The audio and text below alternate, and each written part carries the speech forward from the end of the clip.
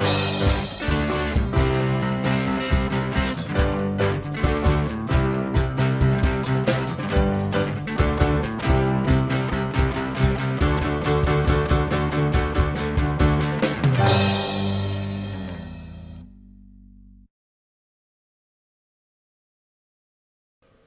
Hello and welcome back to Podcast School. This, as always, is an A2 Technology and Design video podcast, and today we're going to look at feedback amplifiers. So, in this podcast, then, we're going to take a look at the following. It's going to be based on operational amplifiers, of course. So we're going to look at amplification, inverting inputs, non-inverting inputs and what they are. We're going to see how negative feedback can be used in inverting gain and also in non-inverting gain. And we're going to take a look at something called the difference amplifier. But first, just a little bit of revision perhaps. What I'm going to do is show you a system block diagram again. And remember, all systems normally have inputs they do some processing on those inputs and they normally do something with outputs. In other words, they turn something on, some physical thing like a motor or lights perhaps.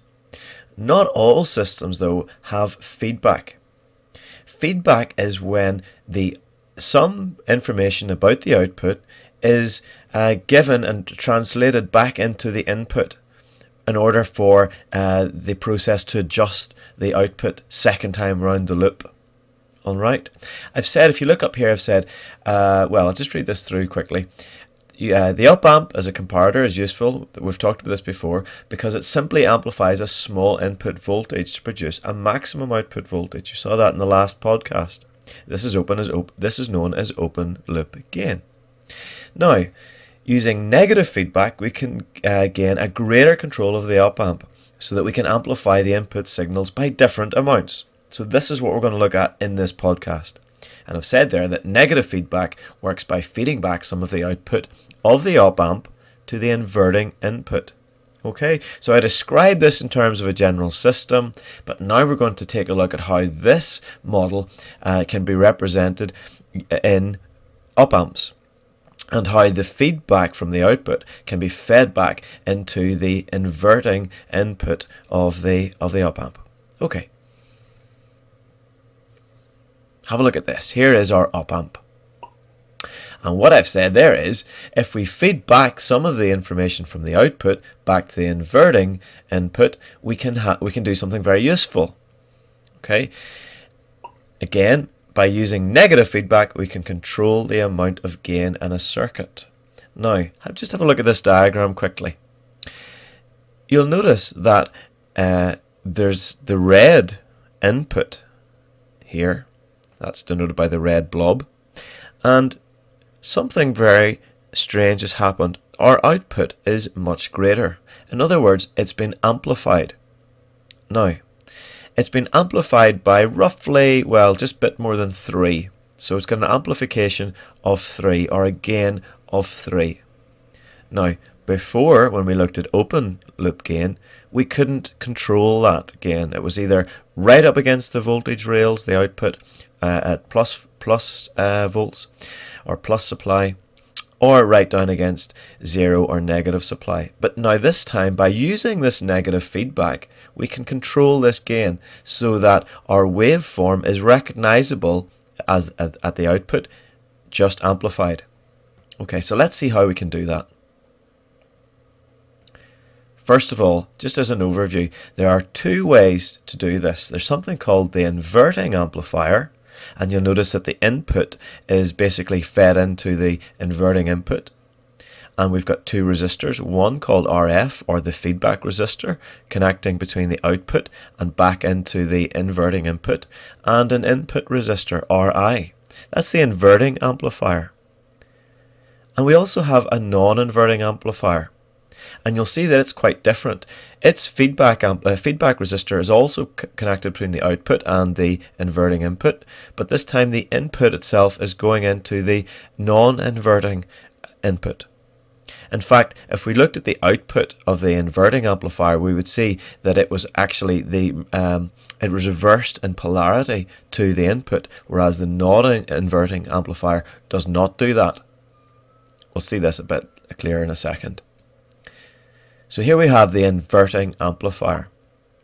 As said there, as the name suggests, the inverting amplifier circuit will invert the polarity of the output to, uh, to that of the input. Okay, said that already. Note that the minus sign in the formula for the gain A, and there is the formula.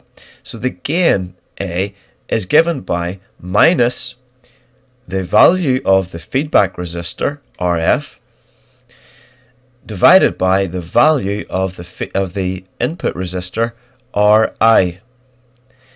As I've said, the output polarity, in other words, if our input, oh, we'll try and draw it here, if our input was like that, not too sure how clear this is going to be, then our output would actually be the opposite with its amplification. So that's what I mean by reverse polarity.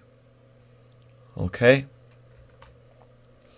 So that's the inverting amplifier gain given by minus RF divided by RI. And indeed, if you wanted to find out what the output voltage would be, you just got to multiply this gain by the input voltage. Now, the non-inverting amplifier. Again, a little bit different in the fact that the RF is fed back. Um, sorry, it's fed back as before, but the input has gone straight into the non-inverting input. I've said there that with the non-inverting amplifier, the output polarity is the same, so we don't have that reverse polarity that we had before.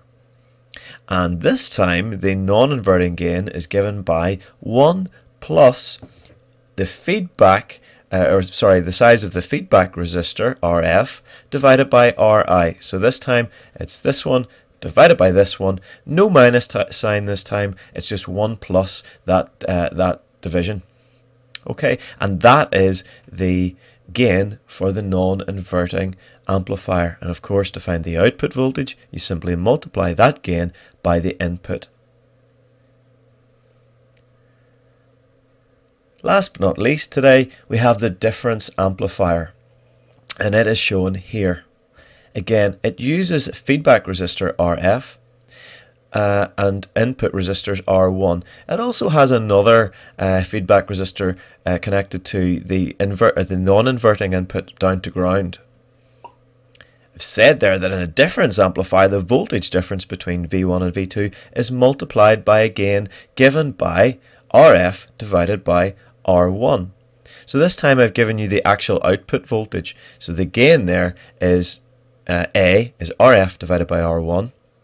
And then of course V out is you got to multiply that gain by the uh, difference between V2 and V1. Okay, in some ways this is almost back to the, the open loop gain except that we can control the gain this time by the feedback resistors RF and R1. Okay, I hope all that made sense. If you um, want to rewind the podcast, go ahead, do so. Don't forget you can watch this as many times as you like. If you have any questions, don't hesitate to email me at info at podcastschool.net. Okay, until next time then, bye bye.